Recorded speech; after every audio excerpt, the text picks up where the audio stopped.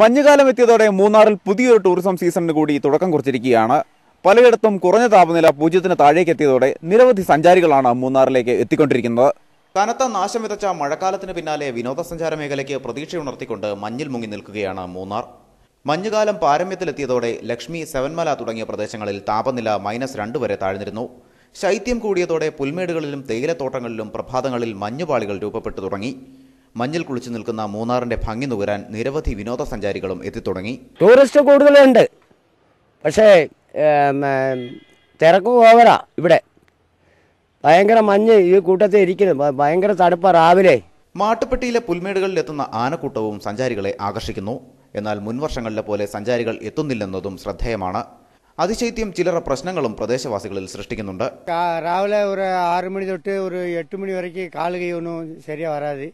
பயங்கர தணுப்பு காரணமான இங்கே உள்ள மரம்லாம் செடியெல்லாம் நல்லா கரிஞ்சு போய் கிடக்குது அதாவது தேயிலைக்கு ஒன்றும் கரியல மற்ற புல் மா பசுக்களுக்கெல்லாம் ரொம்ப கஷ்டம் இது கூட வச்சுனா இது மாதிரி ஒரு ஒரு வாரம் பெஞ்சுன்னா கம்ப்ளீட்டாக எல்லாம் கஷ்டமாயிடுது ജാനുവരി മധ്യത്തോടെ വിനോദസഞ്ചാരികളുടെ എണ്ണത്തിൽ വർധനമുണ്ടാകുമെന്നാണ് പ്രതീക്ഷ M K Sreejith Idukki India Vision